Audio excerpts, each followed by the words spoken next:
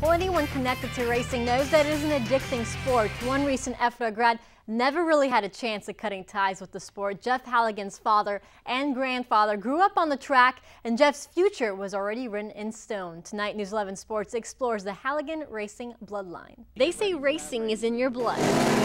For recent Ephrata high school grad Jeff Halligan, it's an addiction. Halligan's going to do it. Jeff Halligan wins it. I've been racing since I was, before I can even remember. As soon as he seen a quarter midget sitting on the ground, he just climbed right in and said, when am I getting to drive this thing? A third generation driver, racing was never really a choice.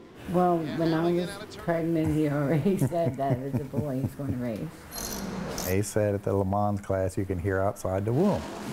So I said, we're going to Lincoln Speedway this weekend.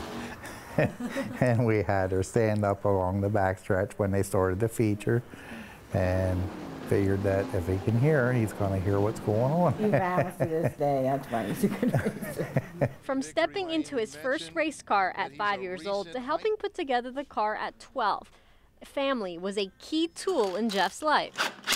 With a makeshift shop at a family friend's garage, he and his dad worked together to make sure the car is up and ready for race day. Family oriented. Us three were together every weekend. With my dad more than anybody.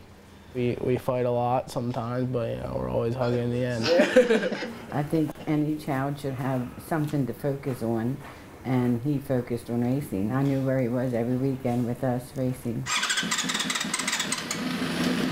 His and his family's passion fueling him forward, there's no red flag in this young racer's future. I don't know what I would do without it, and I don't know what my family would do without it. It's extremely important that I continue doing this and hopefully move into bigger and better things in a sprint car. That's the, that's the main goal.